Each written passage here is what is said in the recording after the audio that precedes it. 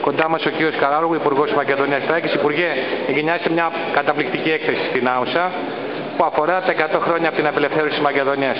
100 χρόνια μετά το Β' Σώμα Στρατού, το οποίο πρωτοστάτησε στους αγώνες με τον Αρχιστράτηγο Κωνσταντίνο για την απελευθέρωση της Μακεδονίας και της Θεσσαλονίκης, όλη η μαθία αναρωτιέται γιατί πρέπει να κλείσει τελικά αυτό το σώμα και να μεταφερθεί αλλού. Να ξεκαθαρίσουμε ότι καταρχήν είμαστε πάρα πολύ περήφανοι που σήμερα εδώ στην όμορφη και μαρτυρική πόλη της Νάουσας εγκαινιάζουμε μια εντυπωσιακή έκθεση, μάλλον δύο διπλές εκθέσεις. Μία έκθεση που αφορά και τα κοιμήλια της απελευθέρωσης της Μακεδονίας από τους Βαλκανικούς πολέμους 1912-1913 και μία δεύτερη έκθεση που είναι μια συλλογή βιβλίων που αναφέρονται στην ίδια περίοδο. Εκδόσεις της εταιρείας Μακεδονικών Σπουδών και του Μουσείου Μακεδονικού Αγώνα που αμέσως μετά την ολοκλήρωση της εκθέσεως θα μείνουν ως δωρεά στο Δήμο Νάουσας για την να εμπλουτίσουν τη δημοτική βιβλιοθήκη και να ξέρουν όλα τα παιδιά, κυρίως τα νέα παιδιά, ποια είναι η ιστορία της Μακεδονίας και βεβαίως πόσο αίμα χύθηκε για να απελευθερωθεί μετά από πέντε περίπου αιώνες η Μακεδονία. Είναι γεγονός αναμφισβήτητο ότι τα τελευταία χρόνια δυστυχώς η δημογραφική εξέλιξη του ελληνικού πληθυσμού είναι πάρα πολύ μικρή. Αυτό είναι κάτι προφανώς πάρα πολύ άσχημο. Αν θέλετε είναι ο μεγαλύτερος ηθικός κίνδυνος που αντιμετωπίζει η πατρίδα μας.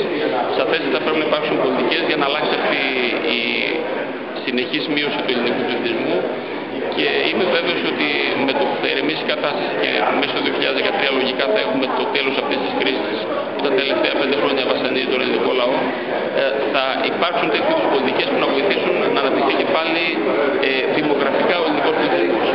Μέσα στα πλαίσια λοιπόν της αντιμετώπισης ε, του προβλήματος λόγω της δημογραφικής μείωσης του ελληνικού πληθυσμού ο ελληνικός στρατός συζητά για την αναδιάρθρωση των μονάδων του.